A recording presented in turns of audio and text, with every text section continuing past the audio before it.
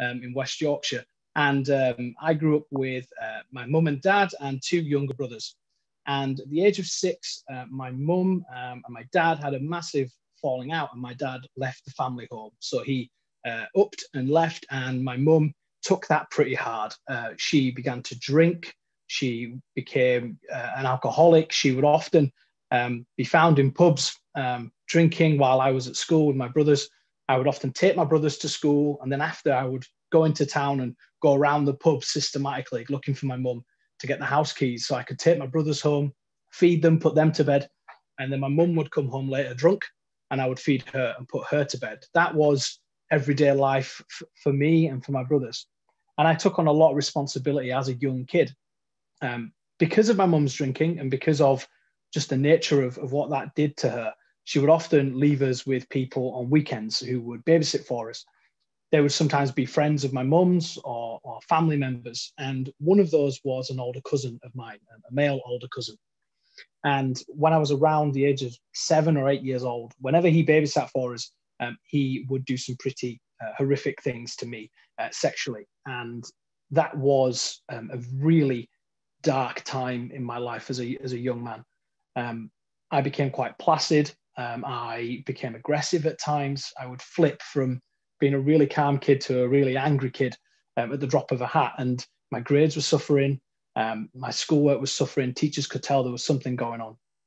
Um, and throughout this time in my life, my grandmother, uh, my mum's mum, um, I would stay with her on a Friday night. She was a devout Catholic woman. She was really into uh, church on Sundays, baptism, she had more pictures of Mary around her house than she had of her own kids. Um, and uh, so she she would look after me on a Friday night. And she really was my mother figure. She would invest in me. She would buy me books about the human body, bugs, dinosaurs, all this kind of stuff. And she would always pray for me. And um, that really was like my first kind of foray into faith and into Christianity and, and what what that was like. So she would pray for me, and then on a Saturday I'd go home back to this this really horrific situation at home. So the abuse had been continuing, and my mother's drinking got worse. And um, around about the age of eight, I decided to tell my mum what had been happening with with my cousin, and um, luckily she believed me. And I know of stories that I've heard from people where that's not been the case, but my mum believed me. The police got involved, and um, it went to court, and he was found guilty, went to prison. Um, when that happened, it became public knowledge what had been happening to me. Social services were now involved with the family. And um, when I returned to school after a break, um, I started getting bullied. And kids were calling me names like bum boy, and they were attacking me on the way home from school. And um, I became a victim again, even in that scenario. And that followed me from primary school to secondary school.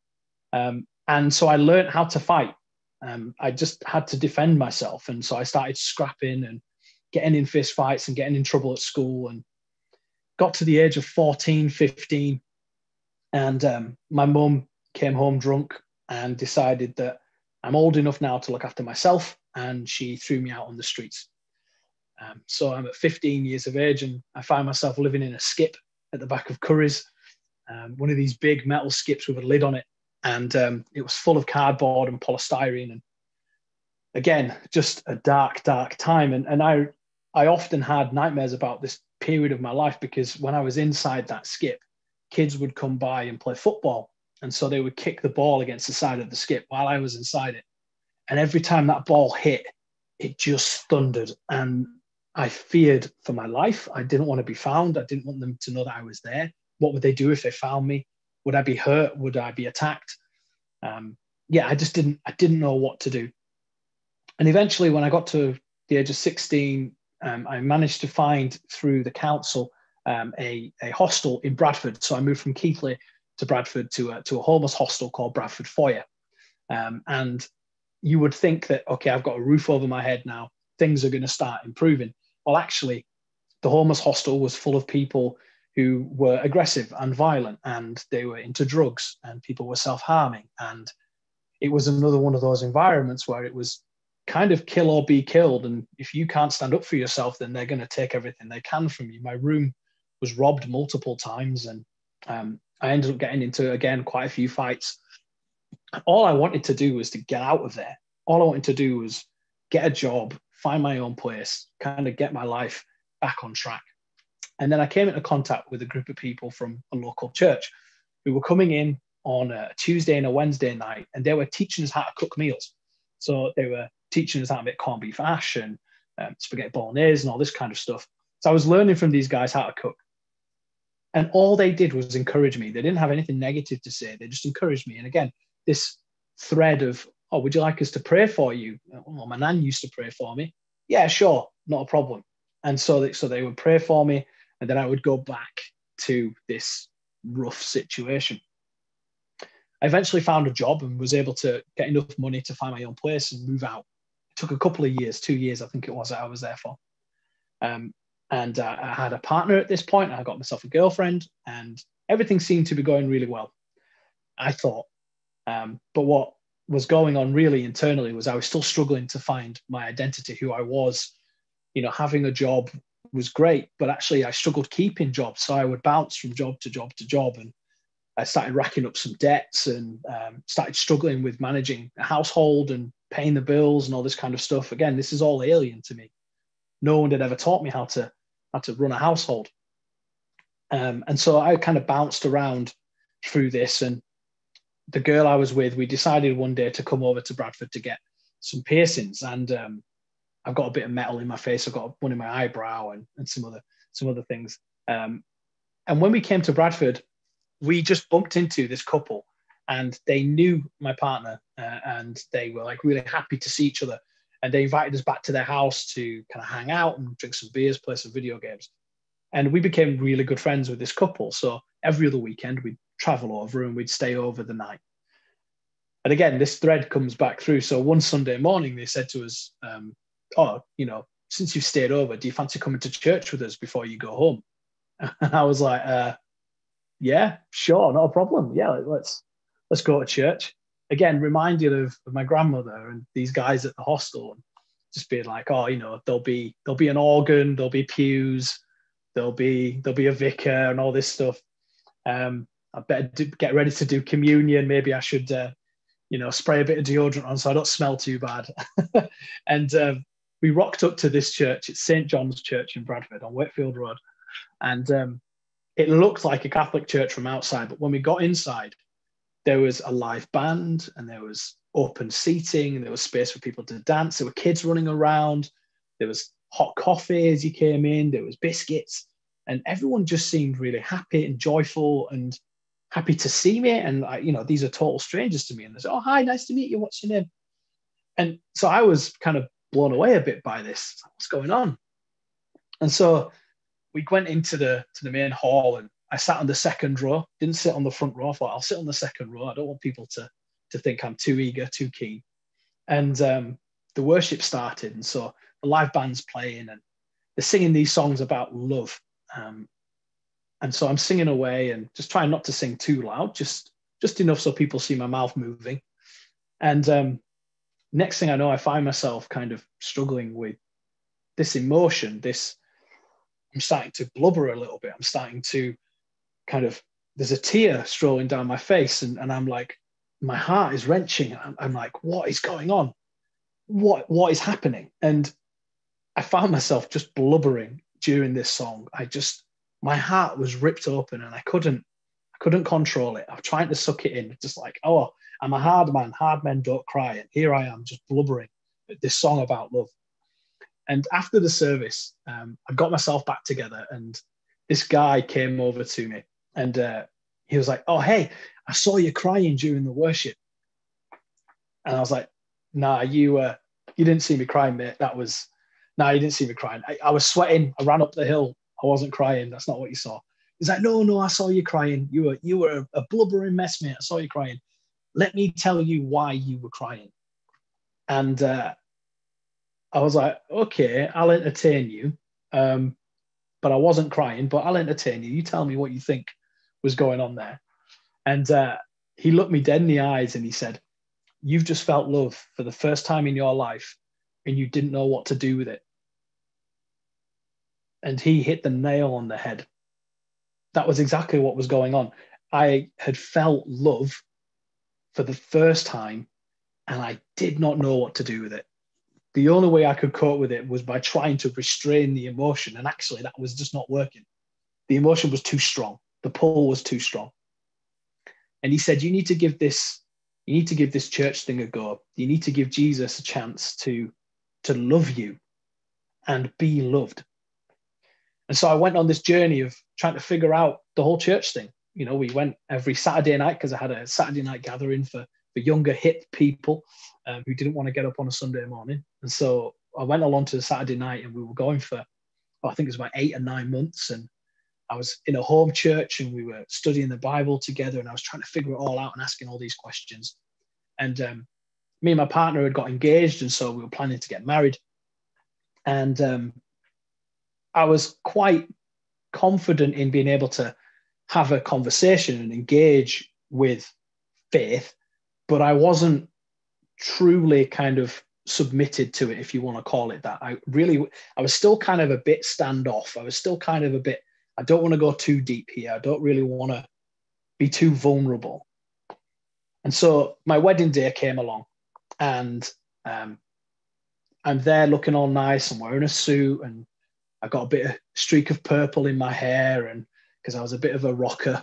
Um, and my grandmother was there. Uh, she was she was sat there, and my grandmother had been suffering with dementia for a couple of years at this point, so um, she wasn't very well. Um, she was quite frail, um, had forgotten quite a lot of her family members.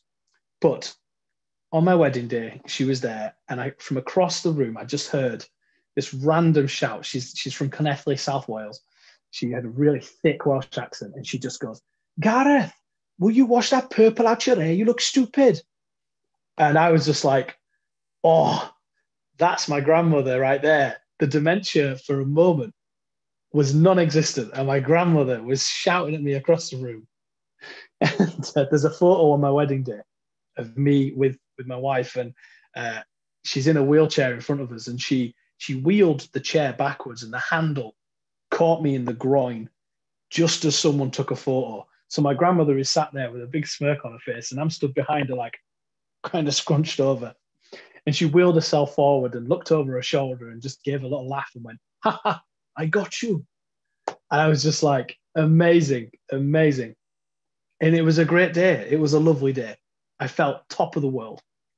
The next morning, I'm in the hotel room and I'm having a shower, just kind of getting freshened up. And the phone went and my brother was calling my youngest brother and um, my wife was like you need to answer the phone you need to answer the phone it's really serious you need to answer the phone. So i picked it up and i was a little bit annoyed. I'm like look it's my you know the day after my wedding day please don't be ringing me. Can you leave it alone? And he was in tears on the phone and he said gaz nan's dead. My grandmother had gone home that night. She'd gone to sleep and she didn't wake up. And her final day was my wedding day. And my world had gone from such a high to a very, very deep low. And I got angry and I blamed God and I blamed everybody else around me. And I became really, really distraught by this. And it was really, really hard. I found out not long afterwards that that the woman I just got married to had um, been having an affair, and she left me, and I was then unemployed. I lost my job. I was depressed, and I'd gone back to living in a box room. I was living in a room that was no bigger than this front room that I'm in now, and it had all of my belongings in. And I just looked up to the sky and I was like, I thought I was on the winning team I thought you become a Christian, everything's okay. That couldn't have been any further from the truth for me at that point. And so I distanced myself from the church. I distanced myself from the friends I had made. And I just went in. I just went in on myself, put my walls up, and tried to deal with it. And it just wasn't. Then a guy called Dave Kendall came and knocked on the door. And he was from the church, and he was a guy I'd, I'd made friends with and he pretty much just barged his way into to the shared house I was living in. He sat me down on the couch, got me a coffee, and he said, "Look, mate, we need to help you get your life back on track. God has got something for you. He is for you. Jesus is for you. Let's be honest. Crap happens. People die. Relationships end. Life happens. But Jesus doesn't want any of that for us. But we have to get through it. And by having Jesus, we can get through it better and we can get through it stronger and we can get through it in a community of people who will care for us and love us and we can have a deep sense of identity in something other than the people and the relationships around us and the things that may potentially hurt us. And i was like okay you're talking a bit of gibberish to me but what what do i do with this then? And so he said let's let's go backwards into your past. Let's deal with all of this hurt and this anger and this bitterness and this unforgiveness that you've got from all the rubbish that's happened. And let's try and get you back on track so we went on this journey together. We we went through this book called 12 and a half steps to spiritual health. And um, one of the steps in that is like making a real long list and account of all the bad stuff you've done and going to people and asking them to forgive you, but then also going to all of those people who hurt you and forgiving them. So I got in touch with my mum and we had a very long discussion about my childhood. I found my dad. Um, he's now part of my life. Uh, he's I got to see him over over Christmas, over video call, and I got to see him on Father's Day. So me and him restored our relationship. Um, I got things back on track with with my with my ex-wife. Um, we we hadn't divorced, so we tried to give the relationship another go. Um, it didn't work out. We did end up divorcing in the end, but it was amicable and there was no there was no like bad feelings or anything. We just thought, you know what, if this isn't going to work, it isn't going to work. So so we put the relationship down and I moved on. Um, and then we got stuck. We got stuck on my my abuser um, because the last thing I knew, he was in prison. Um, and that was, you know, 15, 10 years ago, something like that. So I had no clue where to start. I asked my family if they knew where he was. No one knew where he was. It was a bit of a dead end. So I was like, well, what do I do? And Dave said, well, the first thing you can do in any situation is pray about it. And I was like, okay, cool. So um, it was a very simple prayer, quite a bold prayer, but very simple. And I just said, look, God, it was almost like I was giving him a demand. It was like, look, God, if you're real, and I think you are, and if Jesus is for me, and I think he is, you need to help me deal with this one with this one thing. I needed to help me be able to forgive the guy who put me through so much pain and hurt and set my life off on a, on a totally different trajectory. I need you to help me forgive him. If you can do that, then I'm all in. You've got me. I'm all in. I will drop the walls. I will be vulnerable. I will, I will give you everything I've got. I will fully submit. And uh, I got myself a job. I was back working. So the next day I go into work as usual. And um, I was working at a, a, CEX store. So I don't know if you know them. You see them in towns all over the country. They trade video games and stuff. So I was working in one of those stores, and um, my abuser walked in and joined the queue. So I'm at work the day after this prayer, and my abuser walks in and joins the queue. So at this moment, there's a lot of feelings going on. I feeling like I could jump the counter, run down. I'd been doing wrestling training for about a year or so at this point. I could body slam him into the floor and make him feel what I felt. I could run away. I could take a break. I could try and avoid him. Or I could deal with it. And I could take the opportunity that God has placed in front of me to do something about it. So he starts coming down the queue. He starts coming down the queue and he's getting closer. And lo and behold, I had to serve him. I had to serve my abuser. So he gives me his empty DVD cases, and we glanced at each other briefly. And I got a real sense that he was just as scared about this interaction as I was. I could see it in his eyes. He was shaking as he handed me his DVDs. I turned my back on him and got the CDs, put them in the cases, come back to the till cashed it through. He gave me his money. And as I handed him back the change, I grabbed his hand, I looked him dead in the eyes, and I said, I forgive you for what you did. I forgive you. And as I let go of his hand, it was almost like I've been carrying an elephant on my back all my life and it had just dropped off. My chest came out, the weightlessness. I was a little bit like, whoa, whoa, what is this? And then I took a break. then I went upstairs and washed my face. I just was just blown away. How can I deny? How can I deny something like that? I, I could not pin this to coincidence. I could not pin this to anything other than I prayed for it, and God was like, "All right, big man, there you go, deal with it." And I, I made a promise in that prayer. I said, "If you can prove to me that you're real by helping me deal with this, then I'm in. I'm all in." And from that day, I've lived by that mantra. I have lived by. I can either make excuses, walk away from Jesus, and walk away from Him, or I can make a move towards Him every day when I plant my foot, it's a day for Jesus. Every conversation that I have, every platform that I'm given, every time I'm given an opportunity like this to share my story, it is not me that has done the turnaround in my life that I have seen. It has been Jesus and his love for me. That that is it. Yes, there is some moments where I have to remind myself of that. Yes, stuff still happens, life still throws stuff our way, but we have a responsibility, the ability to respond to whatever it is that's thrown at us. And that ability to respond for me is to not turn my back on Jesus, but to turn towards him and to face him in every situation that's thrown my way. From that point, I got my debts dealt with through Christians Against Poverty. I started working for them. I started running one of their centers every time I'm meeting someone who's been in debt, I'm able to sit alongside them as, as a friend and as someone who knows their situation because I've been there, I've been in debt. I know where they're hiding the letters. I'm able to share with them what Jesus has done in my life.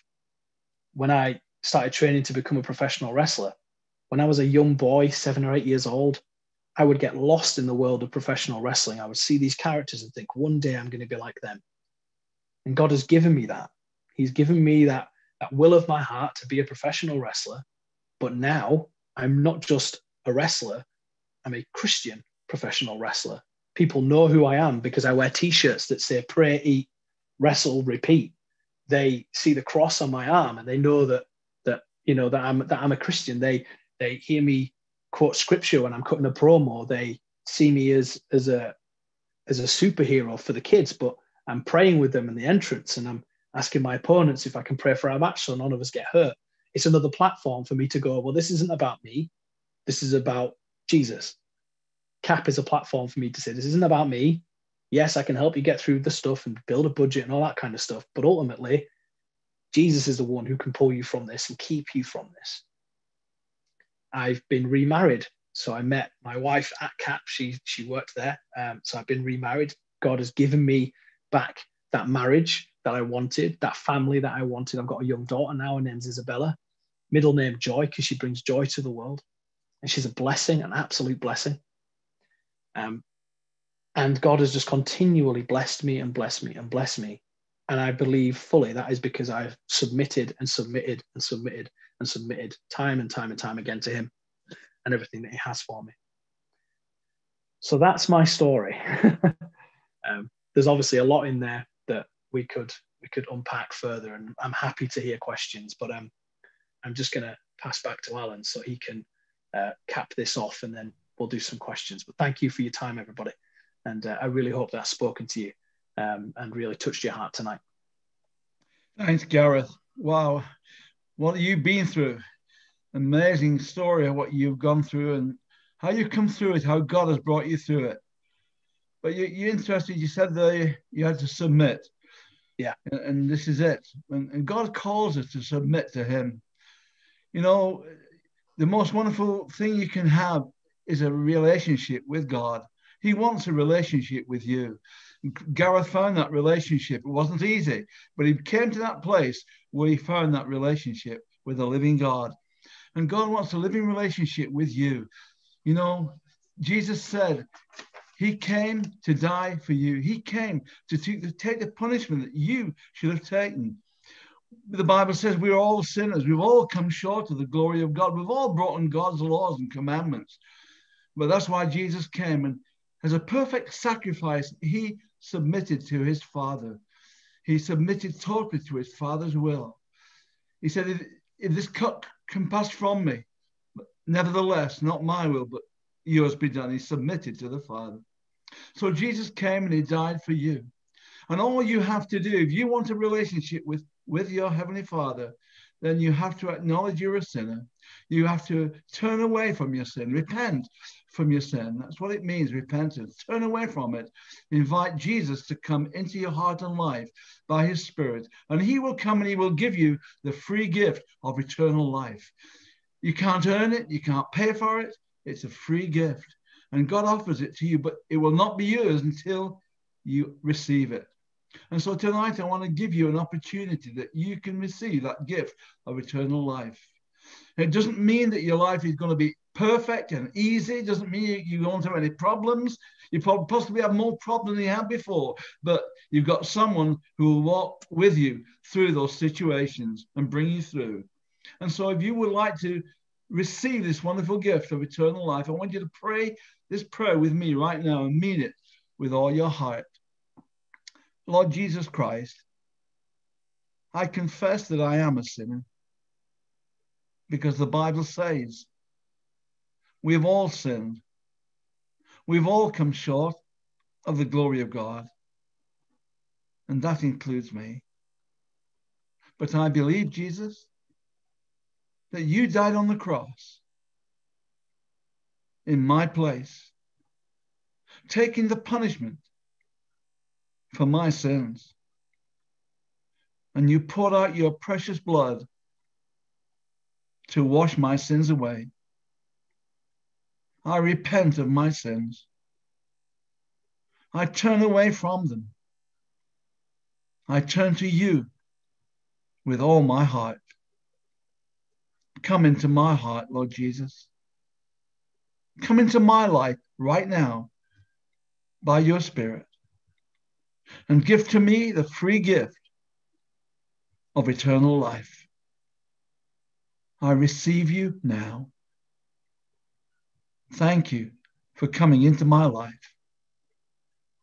Now I believe in my heart and I confess with my mouth that Jesus is the Son of God,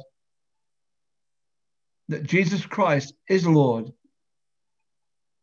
and that God has raised him from the dead. And I thank you, Lord, for saving me, for making me a child of God. Help me from this day forward to follow you, to serve you, to live for you, to glorify your oh, name.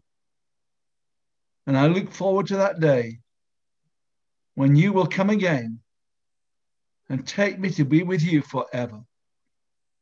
Thank you, Jesus. Amen. If you prayed that prayer, please let us know by phoning this number 07943 550 287. That is 07943 550 287. And if you have any prayer needs, you have want help, please either phone, WhatsApp, or text that number, and someone will get back to you. And so I'm going to hand over to George now, see if he's got any questions for Gareth. Thank you. Well, I've got loads of questions actually, Gareth. Fantastic. First and foremost, I mean, you've told us a great, a fantastic story, and you said like when you were about fourteen, you were, your mother put you out and things like that. I mean, how old are you now? I'm 33 now, so um, I'm getting on a bit. you don't look a day over 20, to be honest. Thank you. Now, when you were look, when looking back on your life, you mentioned your father, your mother, your two brothers. Yeah. And you mentioned now that you, you, your father now is a part of your life. What about your mother? Is she still a part of your life as well today? Yeah, she is. Yeah. Um, so it's interesting the the difference in relationships. So with with my mum, um, she would agree with me, and she's happy for me to share this that um, that relationship has always been quite rocky. Um, it has always been a tough one. Uh, my mum believes that she was right when when she threw me out. She believes that because there was food in the cupboards that the alcoholism wasn't a problem. Um, but uh, you know, but honestly, as a dad myself now, as a parent myself now, um, when I knew I was going to be a parent, I had to deal with all of this stuff again because I sat there thinking about my unborn daughter mm-hmm. and thinking about everything that happened to me as a kid. And I was just like, how could a parent let that happen to their child? And so I had to come back to my mum again and just be like, Mum, we need to talk about this again. I, I, I really need to try and understand this and and and just come into it from a totally different angle and a totally different perspective. But we we have a relationship. My my mum, um, we got to see her just before Christmas and pick up some presents, and she got to see my daughter, and so so I have a relationship with her and my brothers and my dad. Um, you know, they're all different in their own way, um, but um, yeah, my mum, it's difficult. My dad, he just he just loves being a part of my life. Um, he just loves being a part of my daughter's life. Um, he's he's amazing. He's got his got his own partner now, and he's doing really well. And my brothers both got three or four kids each, and they you know they're just dealing with the madness of lockdown with a massive family. Um, but you know we, we do well. We're doing okay um, as a family. Um, none of them none of them are saved. Um, I, I'm the only Christian in the family, and they they think that you know they they appreciate the the church stuff that I do and sharing my story and sharing my faith. Um, but you know maybe maybe they're not mine to uh, maybe they're not mine to to to seek after. Maybe somebody else will come along and um, share with them something that touches their hearts a bit more than me. But yeah. How difficult do you find it to share your um, your newfound faith with your family? It is hard. I think I think a lot of people who are Christians, where their family aren't Christians, it is difficult because there's a lot of history there. There's a lot of um, the relationship's already quite strong, or, or actually maybe already quite damaged in some cases. Um, and I often had the phrase, "Oh, you're part of that crazy cult now," and all that kind of stuff. Um, it is hard. It, it's just hard. I think that you've got to have grace for yourself. Um, that you know, every time you share your story, you are planting seeds. You are scattering, scattering the word. No, nothing shared about Jesus ever goes unheard. Um, you just have to trust that God is going to bring them to Him in His own way, in His own time. That might be through you. That might be through somebody else. You never know. All you can do is just be obedient and share. That that's all I've ever done is just be obedient and share. It's not up to me to see where that where that goes, but just be obedient and share. Thank you for that. You told us you went through a traumatic time, of course, with your abuser, and when it when it became public, it became even worse. You said with the kids in school. Um, how yeah. did you deal with all that calling? And because it, uh, it, must have been very emotional for you at the time. Uh, yeah. So um, this is the thing. So I, I mentioned that I kind of had to learn how to fight mm-hmm. because you know I was only a young boy and I it wasn't a far walk from my primary school to my house, but it was on a snicket. There wasn't a lot of stuff going on. I'd have stones thrown at me. I would be tripped up. I'd be knocked into a river. Uh, I'd been kind of you know hit with bikes. It, just I just had to I just had to learn how to fight back and defend myself. Um, and sometimes I'd leave school early sometimes I'd hang around and wait for everybody to go before I left. You know, I yeah, sometimes I'd go different routes. It was hard, man. I was only a kid, you know, only a young boy. It, what else do you do? Um, and I didn't I didn't have any other way of dealing with it other than, you know, if they're going to punch me, I'm going to have to punch them back and, and run as fast as I can. now you used a very good expression there. You have to find grace for yourself.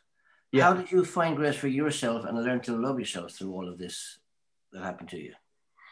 Yeah. Um, one of the things was when I went through that 12 and a half steps, the fact that I did the step where I look at everything that was wrong with me first led me to a place where, yes, um, I, I wasn't perfect. I never have been perfect. I never will be perfect. I rub people the wrong way sometimes. I've done bad things in my life because I got beat up as a kid. I shouldn't have beat them back up myself. You know, two wrongs don't make a right. I had to learn that some of the stuff that I had justified as being okay because of what had happened to me was still not okay. And that was character stuff, that was reactionary stuff, um, it was uh, habits, things that I just picked up over time. And I technically had to just deconstruct myself and rebuild myself again as, as a follower of Jesus, but as a new man and as a guy who has dealt with his stuff. And for men, that is so hard. We don't discuss our problems. We don't Amen. Open up. We're not vulnerable.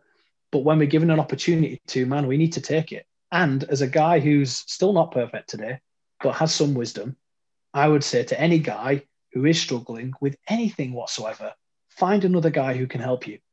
And if you're a guy who's got your stuff together, find another guy who you can help. Come alongside each other. You know, we call it mentoring or discipleship in, in Christian terms, but really it's just doing life together and being vulnerable with each other. And guys, we all know how important that is. We just need to start doing it. Just as you said that, you said you shouldn't have hit them back again, those people. But can I just point out you do beat people up for a living at the moment? I do. we'll get to the we'll get to the wrestling in a moment. You said yeah, sure. Yeah, at 14, you were put out, uh, your mother put you out into the street, of course, and you had yeah. found it hard. And then 16, you found a hostel. Mm-hmm. And then you, you, met some friends in Bradford, you said, and you went to church with them. Yeah. So that was um, obviously for time, I've kind of condensed yeah. the story. There's, there's a time you, frame there. How did you actually uh, come to know Jesus as your personal savior? Um, so I think I think for me it was the emotional response originally to to the worship that made me realize that there was something going on that I couldn't deny. Um, and you know there was an opportunity not long after that, a couple of weeks after that, where they had a guest speaker in at the church, and he did something similar to kind of what we've done tonight, um, where Alan uh, said the prayer, and there was a guy who did that, and he was like, if you, you know, if you want to give, you know, if you really want to give this a go, you need to, you need to give your life to Jesus and say this prayer. So I said the prayer, um, and I got baptized shortly thereafter um, in a in a river in Ilkley, um, and it was a very wet, cold day. Um, but I, I I went through the steps, but like I also said in my story, as much as I had said the prayer and really thought that that I was heading in the right direction, I still hadn't fully submitted, and and that that took that took some time for me to get to that place. I would say if someone's listening today and they want to submit and they can fully submit today, then please do that. Do it sooner rather than later. But if it is going to take some time, you are going to have to go through some stuff. And Jesus maybe is knocking at your heart every point that he gets an opportunity to. Um, my grandmother was technically Jesus knocking at my heart. My those guys at the hostel who showed up and taught us how to cook and offered me prayer. That was Jesus knocking at my heart. When I was in the worship and I was crying, that was Jesus knocking at my heart. When I decided to say yes and fully submit, then Jesus was there waiting. But he was always knocking at my heart. Um, but yeah, so it took some time. But when I was eventually ready to, um, he was he was ready and waiting for me. You mentioned your grand. She said she was a great stalwart in your life and a yeah strong place for you. How did she react, or how did she react when you when you actually became a Christian? So um, she she was happy for me. Um, like I said, she'd been suffering with dementia for a couple of years. So um, she she'd been moved into a flat um, opposite my mum. So um, I'd go and care for her sometimes, and we would talk, and um, you know, she she would talk about her faith. But um, at that point in her in her life, um, she really wasn't really wasn't fully there. Um, I think it's fair to say. but she was happy whenever I talked about church. She was happy to hear my stories. how much of that sunk in, I, I, I can't really say. but she was happy whenever I said, and, and whenever I prayed with her, when I when I prayed back, she would smile, um, and and so for me that was that was a very special moment whenever I got to pray with my grandmother. Um, but I, I wish I you know and I pray that that she would see me now. I mean, my goodness, I'm a totally different person now, and this is you know ten plus years removed from when she died. Um, yeah, I if I if I had if I had one wish, it would be that my grandmother could come back and spend a day with me today, and I'd be I'd be overjoyed to tell her all the things I've done and all the things that Jesus has done um, for her to, to, to see that. But um, alas, that's, that's not to be. That's great. You seem to be getting your life together. Everything seems to be going very well for you. You're getting married and you got lots of friends and everything was going hunky dory. And all of a sudden you found yourself, shall I say, on your back flat on the canvas again. Yeah. Yeah. How did you feel at that particular time? Very angry. Very, very angry. I think um, I think I'd got it into my head that because everything was going so well and had been going well for a little while, that this this whole Christian thing had been working out for me. Um, and maybe, and I think it's maybe fair to say that my my trust wasn't in my relationship with Jesus, it was in the good stuff that was happening. And so I was seeing that as a, as a reason that everything's going well, when actually my relationship with Jesus was nowhere near where it needed to be. And so when things got rough and I ended up flat on my back, um, I wasn't able to get back up again because the relationship wasn't there. Um, and I would say now, um, I can give you another short story. So before my before my daughter was born, um, me and my wife actually suffered a miscarriage. Um, and when that happened, the the difference in response from from me and her versus what it would have been back then from me was instead of me going in on myself and getting angry and getting fed up and trying to trying to figure it all out, we just worshipped. We we sang "Raise a Hallelujah." Um, I sing my, weapon is a melody. I sing in the face of my enemies. We we sang that that was our anthem to get us through that tough time of miscarriage, and that response was a highlight to me of how far I'd come. That my response was not to turn away from Jesus, but to turn to Jesus and to worship Him and to give Him praise, even in the toughest of moments. And now, when my daughter's going to bed, we sing over her and we just praise God for, for the gift of, of, of a child. And I know that it's hard when you can't have kids or if you have lost a child. But how we respond to those situations is what truly tests us and truly tests our faith. Um, and I think if you can turn to Jesus in those moments, um, or even if you can't, if you're not, so this is this is another thing. By being part of a church community, a church family, by being a by being a follower of Jesus, you're never on your own. Yes, Jesus is with you, and that's amazing, and He's never going to leave your side. But there's also a community of people around you who can be praying with you, who can be supporting you, who can be encouraging you, who can be coming alongside in those tough times you're never ever doing anything on your own. And that family that you create is so special and is just what I would call a cheeky bonus of becoming a Christian is that you entered into this family of other Christians who only want to love you and help you. Um, but you got to get that relationship with Jesus right first, and that will anchor you for the toughest of storms. And how did you mend that relationship uh, from that time? Did you have somebody helping you or supporting you? Yeah, so um, so I mentioned uh, David Kendall in my story. He he was like a like I said earlier, a mentor to me. Mm. He, I was able to ring him up and have a vent down the phone if I was if I was struggling with something, or we would go for a beer and, and play a game of pool and just talk things out. And he would allow me to get angry. He'd let me express my feelings and, and my, my problems, and he would always come back to me with, "Have you prayed today? have you read your Bible today?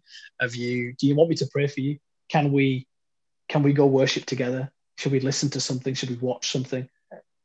And he always he always steered me back. He always steered me back. And eventually, I learned how to do that steering myself um, without without having him to do it for me. And um, you know, he lives in Australia now with his wife and uh, his kids. We still talk even today across the world, um, and we and we share that stuff. And he's he's he's phenomenal. He's a great guy. Um, and I and I wish I'd had someone like him much sooner but he came at the time he needed to come, and God sent him to me when I needed him, um, and he was there for me. Great. So you've come through with it, and just tell us a little bit now how about you met your new wife, and how that came. So yeah, so so we we met at work. So um, so my my role is kind of I've worked at CAP for six years in their head office, so I've done a number of different roles there. But then five years ago, I stepped out to do some of the frontline work as well. So I run the debt centre, the job club, here in Bradford. Explain what CAP is, please, uh, for some people. So CAP is uh, Christians Against Poverty. So it's a, a debt counselling charity yeah. based in Bradford. Centres all over the country. They're in Canada, New Zealand, Australia, Chicago, all over the place. Um, they, uh, they, they, I got a job with them because they helped me out of debt. So I wanted to give something back. So I started working with them. Um, and my my new wife started working there and we just bumped into each other because she had a couch that she was giving away and she knew that because I was running the center, I might know someone who needs a couch. So she, she sent me she sent me some pictures and was like, "I've got this couch if you can give it away." And um, we were both mutual friends with someone else who worked there. And we went out for a birthday drink and we got talking. And uh, she was just inquisitive. She wanted to know a bit more about me.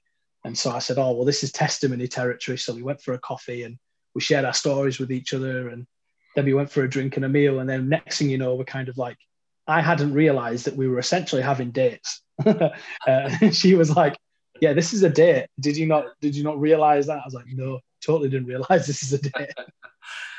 and uh, you know, I, I I was cheeky enough to make the first move, and um, everything went swimmingly. From there, um, we got engaged. Well, we met in the October, was engaged by April. Well, we just knew that there was there was just you know the old cliche when you know you know.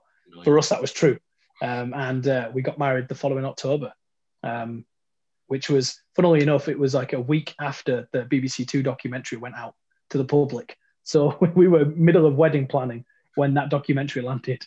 we were just like, ah, um, yeah. What's your lovely wife's name? Her name's Beth. Okay. Yeah, yeah, she's great. And you told us all about the, the story you told us about the miscarriage, but tell us about Isabella, the joy she brings you. Oh, she's she's so amazing. yourself. Yeah. So um, she so she was born on Valentine's Day, 2019. So um, yeah, half eleven at night, it nearly tipped over onto February 15th, and I was like, I was saying to to my wife while we were pregnant, she's either going to land on the leap year day or it's going to be Valentine's Day. And she came on Valentine's Day, and um, we really sought God about her name, and we felt that you know Isabella was a beautiful name, and joy. We just we just joy was just what we were feeling and what we sensed. And, you know, she's only known lockdown, which is surreal now to think that she's nearly a year old. Um, and she's grown up in lockdown. So, you know, she she's met her grandparents briefly. Um, she sees a lot of people over the phone. She's not been to any kids' classes or like nurseries or kind of tots and toddler groups and stuff like that. She's missed out on actually quite a lot, but at the same time, she she's pulling herself up on stuff. She's crawling around. She's starting her first words. She's eating on her own. She's got a better diet now than I have ever had in my life. She's having avocado and asparagus and all this fancy food that I didn't even eat until my 30s. Um, and she's always smiling and she's always happy. And, you know, we, we present at church sometimes, so we service leads, so we do church online and, and everybody's really happy when they see Isabella on the, on the screen with us. And, um, you know we share we share about her on social media and people feel so connected to us as a family that they that they just love her and she's just she's a highlight to everybody and she's she's beautiful absolutely beautiful The boss in the house, basically. pretty much yeah i mean I, I live with i live with three women i've got a female cat my wife and my daughter so um i'm the only guy in the house I'm the same as you, pal. now, of, of the other things that you love in your life, you love wrestling. yeah You said you train. Tell us a little bit why you wanted to get into wrestling. Was it because of the fighting, or was it something you used to watch on telly? Yeah, so um, so again, I mentioned briefly that I used to watch it when I was a kid. Um, I I always loved the showmanship of it, the storytelling, the characters. Never so much about the violence. It really wasn't about the violence. Um, it was it was the showmanship that attracted me, um, and I kind of liked to think that I was living vicariously through these characters. That I could escape the rubbish that was going on at home, and for a few hours I could watch wrestling and get lost with Hulk Hogan and The Undertaker and Stone Cold Steve Austin and The Rock and Shawn Michaels and Triple H and the Hardy Boys and all these characters. And um, when I got into my early 20s, um, I found out about a wrestling school that was doing the training. Um, and I was like, oh, well, actually, I probably want to give that a go. So, um, so I went and started training and I picked it up really quickly. Um, I kind of learned how to do the physical stuff, but I had what they would call the intangible, which is the the X factor, where I was able to kind of do the showmanship stuff quite easily. Um, I was quite a natural at it, so I was able to bring crowds in on my matches, and and they were reacting the way I wanted them to react, and the matches were kind of peaking and troughing, and the the the psychology was there. All I needed to learn how to do was how to do it safely. So the training was actually quite quick. Um, and then, like I said, I've been doing it 10 years now. Um, I, I toured the country doing it. Obviously, haven't been able to do it during lockdown because you can't really socially distance while wrestling. That's it's pretty much impossible. Um, but um, yeah, so I, I started out just just giving it a go, getting into a training school, and and just when I when it happened, it just flew. And I've been running been running my own shows more recently as part of my own ministry, um, touring churches, doing um, wrestling events for churches and then and then I share my story in the middle. So um, God really challenged me one time around the platforms that we have um, and how we use those platforms. So, being a wrestler, that's a platform. So, how do I use that to to show love Jesus? And so, my character changed, my my whole ring style changed, everything switched up to being trying to reflect Christ as, as best I could. And then I've been running the odd show here and there for for friends and fundraisers for CAP and other stuff.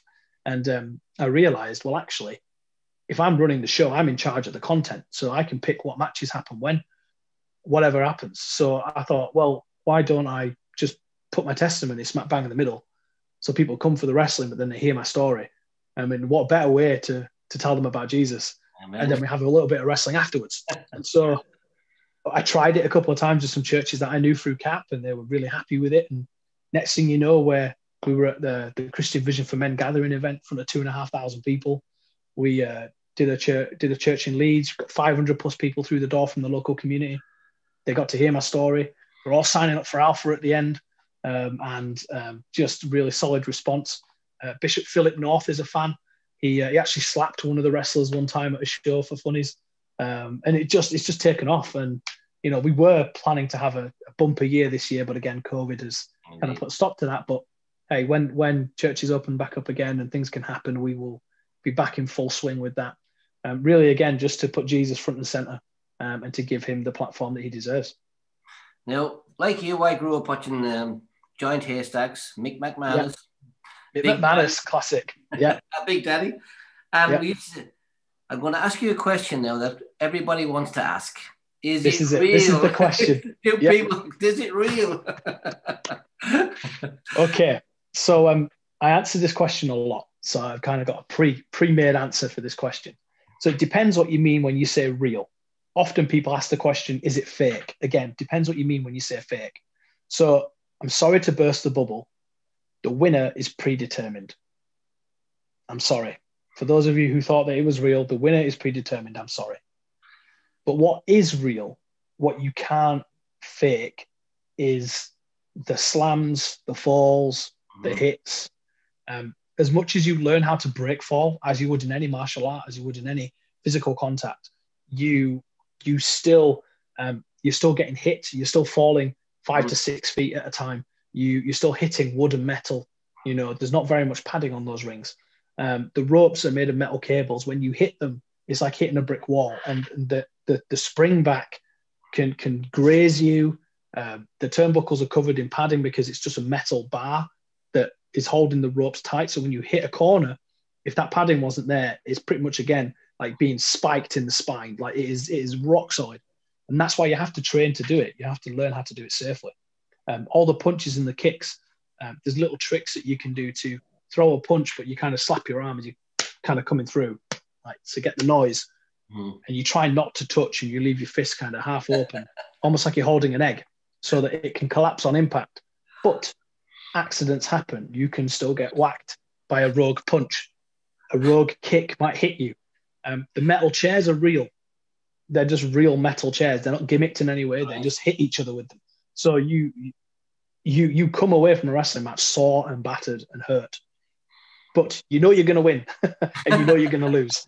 Um, and the rest of the match again depends on the level that you're at. So the guys that you used to watch, so Mick McManus, Catweazle, Johnny Saint, those guys from way back when, they they would practice their match over and over and over again. They would do a tour of the country and they would practice the same match, hold for hold, lock for lock, move for move, until they got to a venue like St. George's Hall or Wembley and they would then put it on TV. So by the time they got to putting it on TV, they had rehearsed it in front of crowds around the country multiple times. So what you saw on TV was a very polished product. Mm-hmm.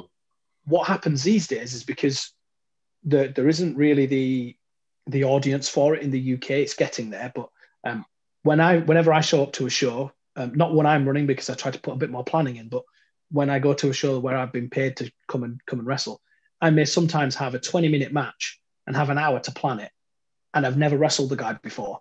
So we show up and we do a beginning, a middle, and an end, and the rest of it you just ad lib on the fly. You just kind of feel the crowd out and, and just stick stick stuff in. You don't really plan too much, so um, it's a little bit more risky now than maybe what it was um, back then. So um, yeah, it's fake. I'm sorry, it's not real. to that degree, but you still get hurt, and it is still pretty rough and solid, and you need to be a tough cookie to do it. You mentioned. Tell us a little bit uh, about GT Ministries, um, how that works for you.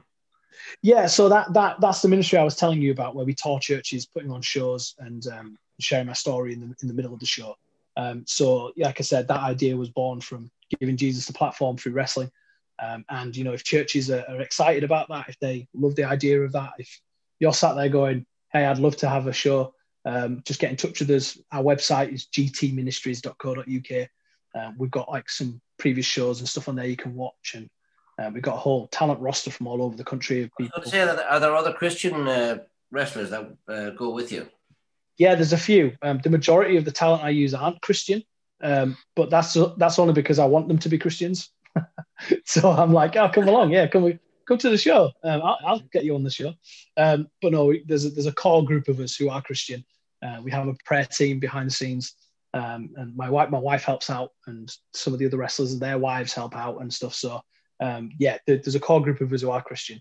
Um, and you know, whenever we're doing it at a church, we pray together as a group before the show and after, and there's a communication with the church ahead of time to promote the event, put an alpha course on, so there's something to follow up with, um, and um, you know, or Christianity Explored, whatever their version might be. But um, yeah, they're they're great. They're amazing, fun shows. We want it to be fun, fun for all the family. Kids can come, um, but we just we just put put Jesus in the center.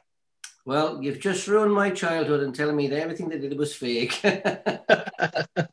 I'm sorry. I hate doing right. it, but everyone always asks me. I hate doing it. I'm not going to lie to you. I'm sorry. it's okay, but I mean, it's been fantastic talking to you, Gareth. It's been uh, really great and some great insights into your own life and how you became a Christian and into what you do at the moment. And I ask this of all my uh, of all the guests that we have on here, of all the decisions that you made in your life, what do you think was the best decision you ever made? Oh, without question, to fully submit to Jesus, without question, because because that has shaped the rest of my life. Everything that I that I am blessed with today has been a direct result of that decision, and I continue to make that decision daily because it is the best decision you'll ever make. Um, and you know, when the day comes when I rise up to those pearly gates and Jesus meets me there and he's like, "Hey, don't punch me. I know you're a wrestler." Um, I'll be able to say, "But hey, thanks, man. Like you, you turn my life around," and uh, I look forward to that day. Um, Before I go, until then, where can I get one of those t-shirts? so, so uh, this t-shirt is available on the website. So if you go into gtministries.co.uk, there is a bit on there that says merch. Um, you can go on and there's there's a bunch of different ones. I've got one that says um, uh, "Fearless Fighter" on the front, and then yep. on the back it says "Faithful Follower." Oh, yeah.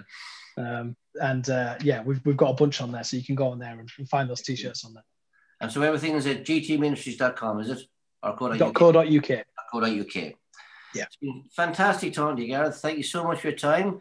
All the Thanks. best with you, of course, and you've got plenty of joy in Isabella while you're at the lockdown, and your yeah. wife, Beth, of course. and yeah. with that, I'll just hand back to Alan. Thank you. Thanks, George. Thanks. Oh, thanks, Gareth, for answering those questions so great. And uh, it's been so great listening to you. And one young man, he, he had to leave. he's going to work at three o'clock in the morning, he said, but he said wow. he was very inspired by it, uh, Daniel. Amazing. So th- that is great. Yeah, thanks for being so honest about your life and there's a few people I'd like to have a match with, like George and uh, John Sellis. I'd like to arrange a match, set up a match with a few people.